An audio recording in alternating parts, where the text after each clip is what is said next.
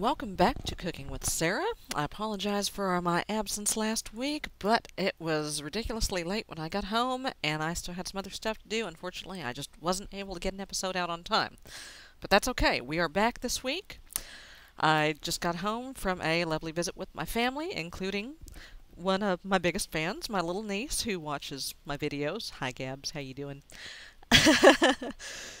So today we are looking at um, we're having a little uh, Cinco de Mayo celebration out here. A little background: Cinco de Mayo is not Mexican Independence Day, as you might have thought. It is instead just a celebration of Mexican heritage and pride. Commemorates the Battle of Puebla, I believe it was, back I don't remember what year. But that today it is just a simple, simply a celebration of heritage and pride, and food and festivities and all that good stuff. So that is your kind of a TLDR history lesson for the day. But the part we are most concerned with, naturally, is going to be the food. So let me get back in first person. Give me a hot bar back. Oops. Get back into survival. Okay, I have a uh, buffet table here with a little spread on it. We've got, um, now, a little uh, disclaimer here. What I am about to show you is not so much authentic Mexican food as it is Tex-Mex, and even at that, it's um, it's bordering on Taco Bell Tex-Mex.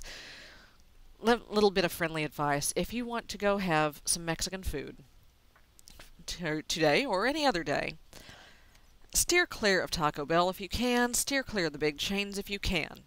I realize in some parts of the country that's just not an option. But um, to be quite honest, the best Mexican food you're going to get in this part of town, uh, here in Houston, it's either going to come from a hole in the wall that you would look, you would drive past and think, ew. No, you go in there, they're going to have amazing food. Or you get it off a truck. So, but uh, yeah, this is a this is what we have available to us thanks to Harvest Craft. So we'll, we'll make do. We'll make do. So I've got a, a couple different kinds of burritos, um, the basic tortilla that the burritos are built off of, some tacos. I've got both fish and uh, regular tacos. We have a cactus soup here, which kind of goes along with the spirit of things. I'm not sure if nopalito soup is actually a thing, but you know we're, we're going to roll with it today. We've got roasted corn. I don't know how that lettuce got there.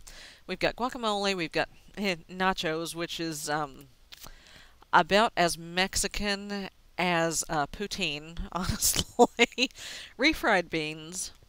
And finally, dulce de leche ice cream to finish off.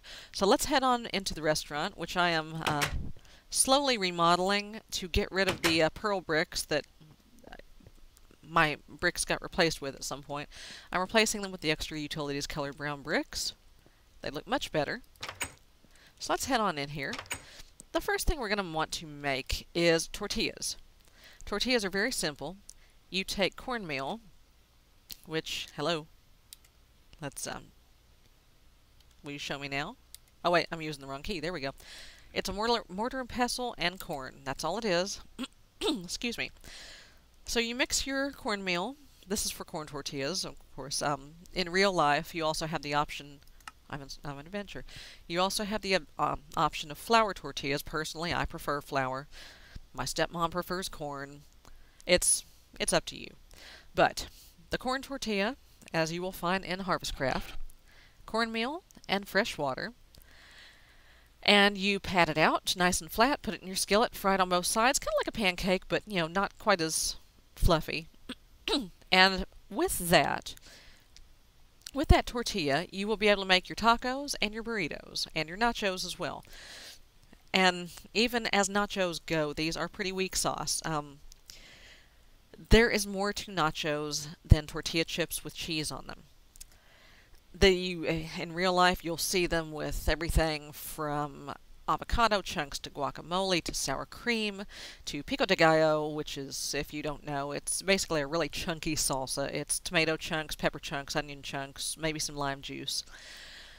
You'll see uh, refried beans on them. Did I already mention that?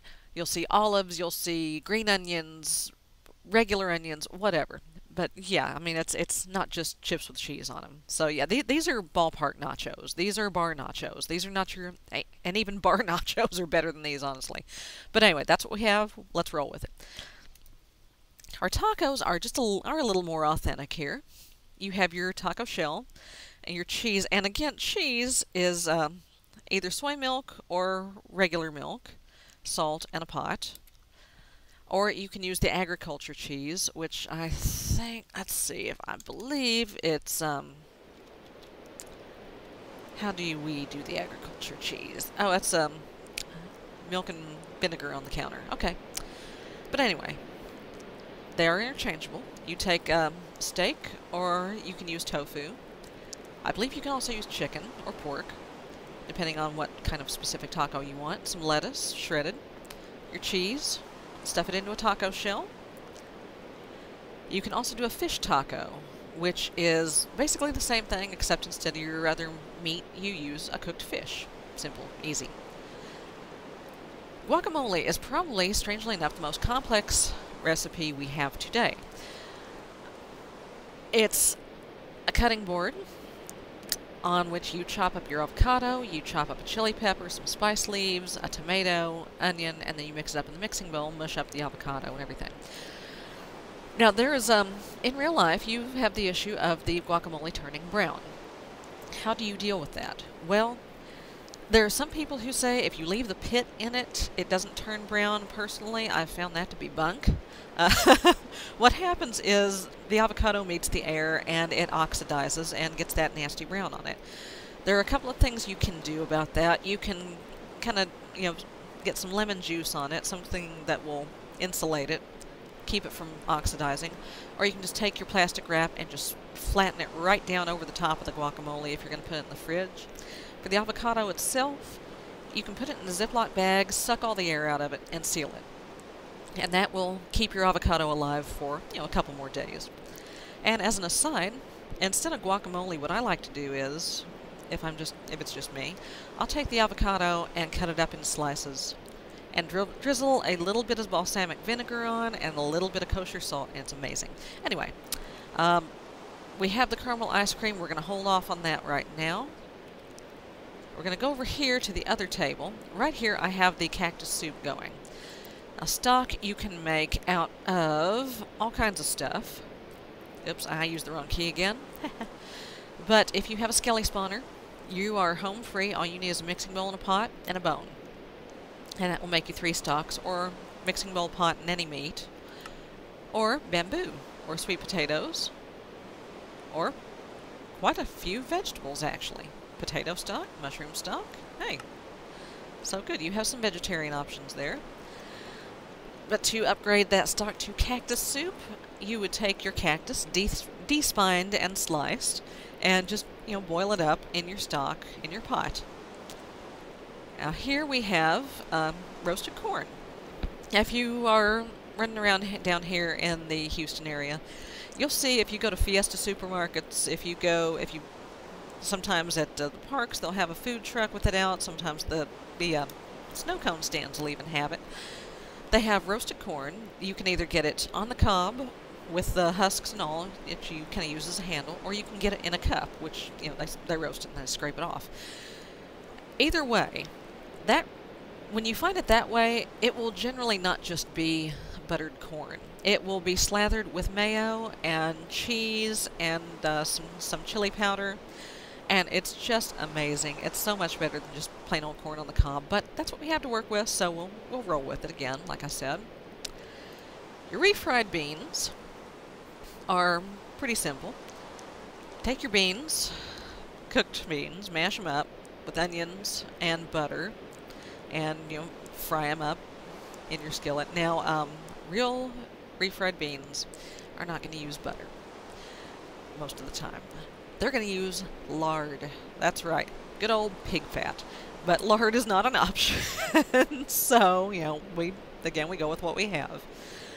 Now, in real life, a bean burrito would most likely have refried beans in it, but here we're using just plain old regular beans for our bean burrito. We're using the tortilla, which I just showed you. and you use rice, either the Growth Craft rice or the Harvest Craft rice, which I have here, and some cheese.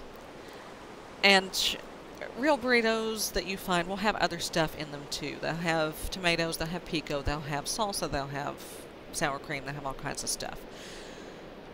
The avocado burrito is basically the same thing, except instead of the beans and rice, you get avocado and you have some kind of meat. And we're using chicken here today, and I'm just going to grab one of those because that looks really tasty. So I'm going to just kind of cram that in my face right here. Mm, I love avocados. For dessert, we have dulce de leche ice cream. Now, there's actually, you can make ice cream. Um, and I will, uh, let's see, I think the caramel recipe uses, okay. You can do it the hard way, which is a pot, a mixing bowl, some kind of milk, either soy milk or cow milk, salt, and snowballs. Or you can do it the way we're, we're going to use the uh, vegan version today. We're going to use silken tofu and freeze it with caramel. Now how do you get caramel? There's two ways you can do it. You can either do saucepan and sugar if you don't want to have to babysit it, or you can come over here to the um, agriculture oven and it needs some fuel. I thought I had some coal in there. I'll just steal it from the processor. Let's put that all in there. This method, you will have to keep an eye on it. Otherwise, it will burn, and it will be sad, and you will cry. So if you want the more realistic cooking mechanic, go with the agriculture. There it is. Okay. Does not take long at all. And I'm just going to see. Am I hungry enough to eat that just as it is? No, I'm not. Okay, well, I'm going to throw it in the, in the cabinet here. What do you drink with your Mexican feast, with your Tex-Mex feast? Well, if you are an adult, beer. Beer's good. Get yourself an ice-cold cerveza. And I'm going to turn the rain off because uh, that's annoying. Here we go. Get yourself a cold beer with a wedge of lime, either a Dos Equis or, or a Corona, which is my personal favorite, or Tecate, however you want to do that. Uh, Coca-Cola. Well, product placement. Uh, cola in a bottle is also good. That's a that's a popular drink. They have um, various juices, smoothies. Um, I have a horchata, which is unfortunately I don't think I have a recipe for in any way, shape, or form. But it is a kind of a sweet, kind of almost milky drink that's made out of rice. And it's really good. Kind of got a little bit of cinnamon taste to it. Real refreshing. Coconut water, whatever you want. So that is our quick little Tex-Mex feast for Cinco de Mayo. I hope you enjoyed it. And as always, if there is any kind of specific cuisine you would like to see me do, or if there is a food mod out there that I don't know about, uh, you might have seen a couple of weeks ago, I'm auditioning some 1.7 food mods. So if there is one that you are aware of that I haven't seen, just let me know in the comments if you'd like to see it, or any other food mod you'd like to see just hit me up and I will see what I can do for you. So until next time, folks, bon appetit. I will see you later. Bye bye.